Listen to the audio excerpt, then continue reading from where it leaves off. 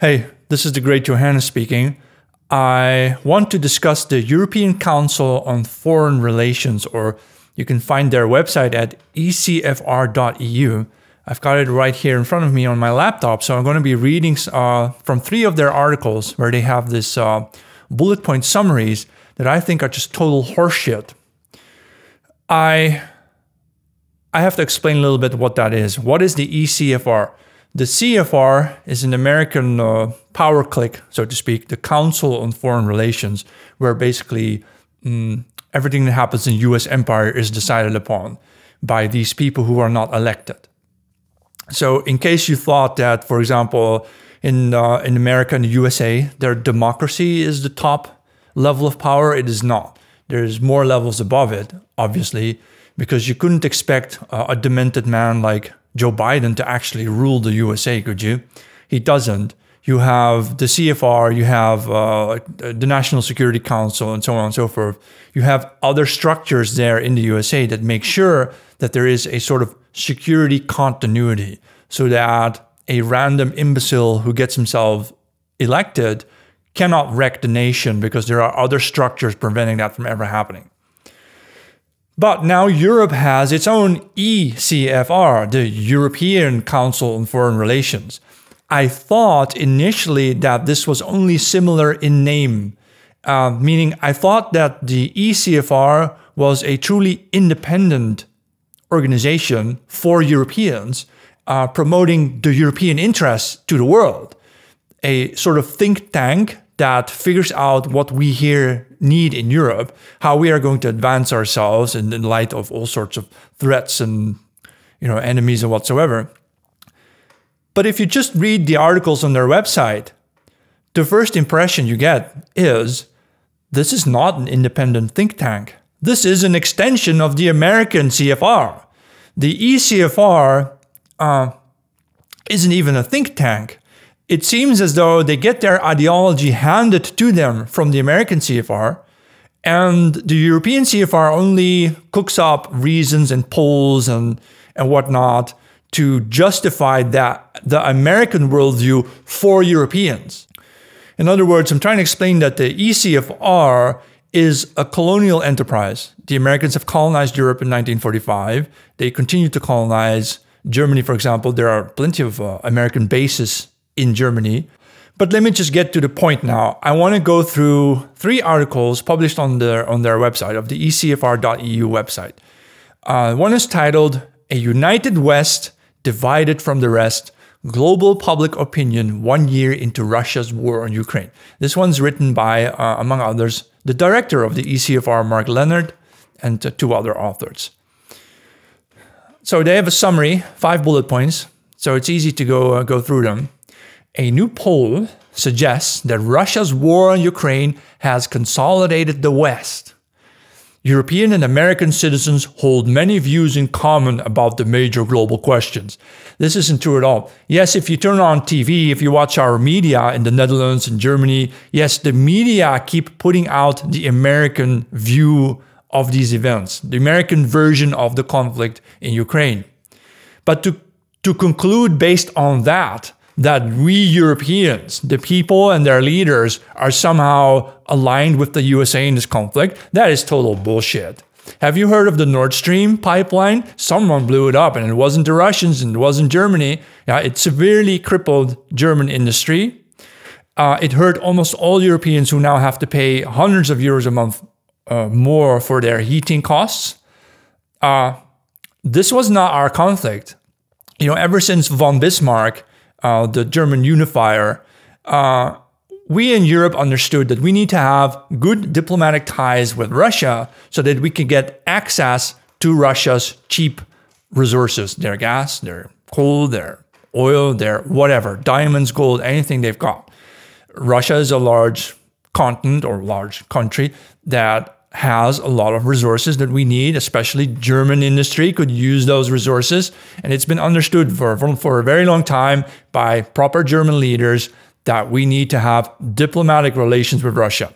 So during First World War, during the First World War, which is after von Bismarck, they go to war, Germans go to war with Russia. They lose. Second World War, Hitler goes to war with Russia, they lose. Napoleon tried to go to war with Russia, they lose. Now we're supposed to go to war with Russia under goofy doofy Joe Biden, who is demented, a fool. But I, like I told you, they have other structures on top of that: the Pentagon, the CFR, uh, the National Security Council, and so on. They really rule the USA. The democracy is just for show. I hope everybody gets that by now. It is simply not so that European citizens see things the American way. We don't. We've been hurt by the American sabotage of the Nord Stream pipeline because the Americans did it. They deny it, they don't talk about it, they believe their own lies on everything now. No, we Europeans actually realize that we are not aligned with the USA. Their wars that they are waging around the world, uh, through which they wage through NATO and expect European allies, quote unquote, or vassals, what we really are, to go and fight alongside them uh, in all these stupid conflicts. Uh, we realize that's not what we want anymore uh, we actually see now that what we need is independence from the USA, which is what uh, French President Macron has also said that we need independence from the USA. So Europeans and Americans agree they should help Ukraine to win. No, we don't agree on that. See, this is all this is all of this that you're going to read in the article is proclamation. The ECFR under director Mark Leonard proclaims the American worldview as though it were ours as well, as though we Europeans see things the way Americans see things. And we don't have our own opinions because we need America. Without America, we would be speaking German right now. Because that's the greatest fear of every American, right? Is to have to learn another language. But in Europe, we speak so many different languages. This is not something we're afraid of and that Russia is our avowed adversary. No, it's our ally. Basically, it's a neighbor with a lot of cheap resources. It's certainly not our enemy. We don't want Russia as our enemy. Russia's on our doorstep. It's like, would the USA be on uh, be constantly waging war against Mexico? Well, maybe if Mexico had more oil, the US would invade Mexico. Yeah, we understand that part. And in the coming global order, most likely, it will be defined by two blocks led respectively by the US and China. So, this is the American worldview saying, no, no, no, I know there's trouble in the world, everything's going to shit, everything's going to hell, but, but, but, but, please listen to us. We Americans are going to stay in charge alongside China. It's going to be a bipolar world, the two poles. It used to be America versus Russia, right? And then the Soviet Union collapsed. And now it's going to be America versus China. And Americans are going to win that, right? We're going to just win it again. No. What we realize now is that in the Eurasian continent, you've got India, China, you've got um, uh, Russia, and Europe. And these four big major players in terms of either population power or technological power or whatever it is, cultural power, whatever it is uh, you see that these four players are going to dominate the Eurasian continent, and it's very likely that the USA is going to be, the Americas are going to turn into a sweatshop. Already, did you know that in Los Angeles, you can get a job working in a sweatshop, earning $1.86 an hour sewing clothes? In China, they get paid twice as much. So forget about this nonsense that China is somehow a cheap labor force. It is not. China is now an advanced labor force and they charge money. They charge more than what you get in the USA for basic work. It's more expensive now. I don't see this happening at all. Who in their right minds could write something like this? And do you really expect that in the future, the United States is going to stay in power and we're going to compete with China? No, no, no, no, no. The USA is not going to stay in power at all. From the European perspective, we, we realize the USA the US empire is going down, bust and broke, and then it will be the, the power in the West will flow back to Europe, and the power in the world may actually flow to China, Russia, India, because they will be the economic powerhouses together, right? Unless we Europeans learn to strengthen our diplomatic ties with Russia so we get access to the cheap Russian resources. We can strengthen the Central European economies, that is mainly Germany, the German backbone. And so the German Germanic peoples, by the way, from Denmark to northern Italy, form a sort of backbone in Europe. The Germanic backbone is the economic backbone of Europe. The French don't like that. You know, nobody likes it, but that's just how it is. So power is going to come back to Europe that will make Germany strong. We will have good ties with Russia our economy will flourish, but so will China. So it's going to be Europe and China dominating Eurasia. Right? And don't be afraid of Russia. Russia has about 130 million inhabitants. Europe has 750 million. So what do you talk about? We have twice the population of the USA and similar wealth. If the USA messes up their Taiwan conflict, basically the US is over, but Europe will flourish. in contrast, citizens in China, India, and Türkiye, which they now spell as Turkey rather than Turkey, prefer a quick end to the war, even if Ukraine has to concede territory. Yes, but that's not really in it's not in contrast with what we in European we Europeans want. Most Europeans who are able to think for themselves realize that that's what we also want. Just give Russia Crimea, normalize the diplomatic ties, right? And then move on from there. But then we'll do that without the USA being in power. And then people in these non Western countries, as though they're like weird people, and in Russia, as though Russia is Western, Russia is not. Also consider the emergence of a multipolar world to be more probable than a bipolar arrangement. So here we learn that the USA has a view of the future of themselves staying in power, are never going to be a bipolar world with US and China. Because that's all Americans understand. They've got they've got so many decades of having only Democrats and Republicans to vote for, only a two-party system. So they see the world as in black and white, good and bad, you know, US versus China. When in reality, the multipolar world where several actors will dominate the Eurasian continent, right? And and America, the Americas, the Americas, as I said, will turn into a sweatshop. That is very likely. But they won't write that because the ECFR is pro-US. They're they're portraying the US worldview. Western decision makers should take into account that the consolidation of the West is taking place in an increasingly divided post Western world. Yeah. No, the West is not consolidating. What they what they mean to say is that oh, we in the West have basically completely isolated ourselves from the rest of the world. The whole rest of the world is uniting against us because everybody hates the USA, and this is our opportunity for us in Europe to decide whether or not we want to go on with that sinking Titanic called the USA and that emerging powers such as India and Turkey, Turkey will act on their own terms and resist being caught in a battle between America and China.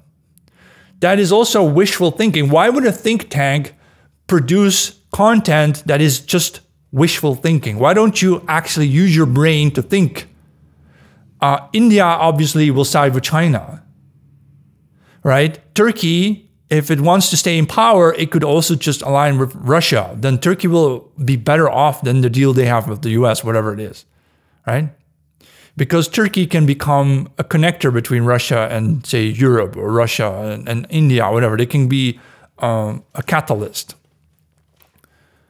It doesn't make sense for anyone who can use a brain to imagine that, oh, Turkey and India will not meddle with our conflict with Russia. They're just going to sit by the sidelines while we Americans fight it out against Taiwan and China. No, Turkey and India have their own interests. They can think they can think for themselves. The Americans perhaps not, but they can. And Turkey, you know, in case the US is going down, Turkey will side with Russia, period. In case the US has economic trouble, India will just side with China. Why not? See? Uh, this is very hard to grasp for Americans, and apparently they're, uh, they're European vassal slaves over here. Oh, here's another article called Fragile Unity Why Europeans Are Coming Together on Ukraine and What Might Drive Them Apart. So, yeah, Europeans are coming together on Ukraine, namely that we don't want this war. That's our attitude. We don't want this damn war get it over with, normalize our relations with with Russia, so we can have cheap gas, fuel, oil flowing into our economies again. That's what we want. That's the European unity, you know. And what might drive us apart? Ah, see, that's American wishful thinking. They want to drive Germany apart from France, right? Because Germany is, as I said, is uh, still occupied territory, still being op- occupied by the U.S. military. The German media are not free we don't have free press in Germany. German German press simply uh, copy paste whatever Americans tell them to copy paste. So, a recent multi country poll for the ECFR suggests that Europeans have come closer together in their support for Ukraine. No. Who are they polling? Who are they polling? Left left wing voters apparently who subscribe to the newsletter because everybody else like me isn't on their on their on their newsletter. I wasn't polled. People like me aren't polled, but we are the, we represent the majority. Europeans now agree that Russia is their adversary or rival. no, no, we don't agree upon that. Uh, we didn't have any conflict with Russia since the Cold War. Cold War also was the American conflict. Basically, the Anglo, the Anglo-American, the British Empire, and after it fell apart, the Five Eyes, you know, Australia, New Zealand, so on. The Americans, Canadians, they have a conflict with Russia because if Russia and Germany would work together diplomatically, then Europe would become more powerful than the USA. And that's the problem. That's what the USA does not want at all costs. But that doesn't mean we Europeans now agree that Russia is our rival or our adversary. That's what the Americans want us to believe. That's not what we believe. Uh, but these factors leading to this apparent unity uh, are fragile, and European leaders should be careful in their optimism. You know, European policymakers should take advantage of this unity, our apparent unity for Ukraine against Russia, to equip Ukraine quickly with, you know, weapons, while doing everything they can to mitigate divisions caused by changing circumstances at home and abroad. So the Americans do realize, you know, that Europeans don't support their worldview. We don't care if the USA stays in power. Um, and the reason is, we'll see that in the next article. This one's titled The Art of Vassalization How Russia's War on Ukraine Has Transformed Transatlantic Relations. Russia's invasion of Ukraine has revealed Europeans' profound dependence on the US for their security, despite EU efforts at achieving strategic autonomy. So the USA doesn't want Europe to have strategic autonomy the US has actively sabotaged European efforts to make ourselves autonomous uh, from them. The word autonomous or independent means that we don't have to call Washington every time we want to make a decision, and that Washington cannot tell us to go along with their wars anymore. Uh, Europe actually does not depend on the US for our security uh, we could literally fire up whatever factories we have, and within three months, we have all the equipment, all the military equipment ready to defend ourselves. So we don't need the USA. This is a three month thing. It's not 30 years, it's not three years. It's a three month to six month operation, and we make ourselves militarily completely independent from the USA. It can be done in three to six months. That is not an issue. It's just that the USA does not want us to do that. Oh. Over the last decade, the EU has grown relatively less powerful than America economically, technologically, and militarily. That is because American corporations have been plundering and pillaging Western Europe, especially, and also Eastern Europe to some degree. They have been sucking the money out of our economies. They don't pay taxes. Starbucks and, and whatever, Amazon, Facebook, do you think they pay taxes in Europe? No, they use Europe to launder their money through, through an Amsterdam postbox firm, for example, but they don't actually pay taxes here. They've been sucking us dry. That means the opposite conclusion is true. If Europe would cut loose from the USA, we would actually financially gain. It would be a beneficial decision for us to make ourselves independent from the USA. But the US doesn't want us to do that. Europeans also still lack agreement on crucial strategic questions for themselves, and they look to Washington for leadership. no, we don't look to Washington for leadership. We look to ourselves for leadership. Look, in Europe, Western Europe, our prime ministers, like Olaf Scholz, uh, Bundeskanzler, Chancellor of Germany, or Mark Rutte of the Netherlands and so on. These creatures are puppets of the USA. That's why they look to Washington for leadership because they are unfree. They are the serfs, the vassals to Washington. But if we would just have honest elections in Europe where we can actually vote for the people we want, right? People who are capable of thinking independently from what Washington tells them to believe, then we would instantly have a leadership that can just look to itself and to our own people in Europe, and we wouldn't need Washington for what? You need us to go to war with you against uh, Taiwan and against Russia. Why? To keep you in power. But we don't need you in power. We can we would be better off without you. That's just how it is. In the Cold War, Europe was a central front of superpower competition. Now the US expects the EU and the UK to fall in line behind its China strategy and will use its leadership position to ensure this outcome. They're admitting it. They're admitting it. you know, they're just plainly admitting that the USA wants to continue to dominate Europe and the UK and tell Europeans now's the time to go to war, march on and die for America, die for your Starbucks coffee, die for your McDonald's. To which we Europeans say this symbol, dick and balls, bitch. No, we don't need to do this. Europe becoming an becoming an American vassal is unwise for is unwise for both sides but we are vassals. Western Europe was colonized after World War II. Germany is still under American occupation. Uh, we are vassals. The Netherlands is a vassal. You know, Belgium is a vassal. We are vas- The EU, for Christ's sake, was created with the help of the American Secret Services. The CIA co founded the European Union as a method of um, imposing upon us a transnational structure a supranational structure that they control so that, as in the words of Kissinger, Henry Kissinger, the American war criminal, who do you call when you call Europe? So they created the EU so they could call Brussels to tell Europe what to do rather than to have make have to make phone calls to 50 different leaders in 50 different languages. Now they can just call Brussels in English and tell the whole EU, Europe, what to do. So it's nonsense. Um, Europe can become a stronger and more independent part of the Atlantic Alliance by developing independent capacity to support Ukraine and acquiring greater military capa capabilities. So they're saying that from the US perspective, they want Europe now to militarize so that we can go and die in the war against Russia for American empire. But we're not going to do that, right? uh, we don't want to be a part of your Atlantic Alliance. What the hell does that even mean? That means we, we Europeans will be the pillars of American power. You will rest on our shoulders, but we don't need you because you're fat. Okay? Get off our backs.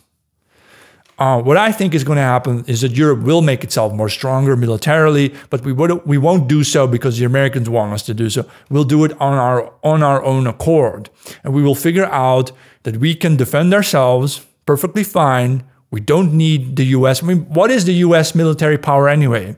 Yeah. You've got like you've got eight carrier ships and that's it and those things are over a half a century old and that's all that's all your that's your real projective projectable power that's all you've got really it's not that much you know what i think is going to happen is the western world will this century be ruled by Europe. The center of power will return to Europe to the German Franco, the German French axis. Mainly, it's going to be the Germanic peoples, German peoples, German speaking peoples in the center of Europe, Central Europe, who will become the economic backbone of Europe. And, well, like I said, United States, it's going to be a fine sweatshop to produce your new Nike shoes because they won't do that in China anymore because the Chinese are more talented now.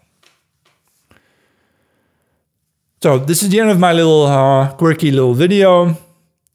Uh, I just don't believe that the United States is going to stay in power. It will not be a conflict between the US and China for long. Um, the Eurasian, this massive Eurasian continent, is going to become um, the dominant force in the world in the future, and the United States will have to take a back seat. That's just how it is. But hey, you can wear a dress now in the USA if you're a man. Good luck with that.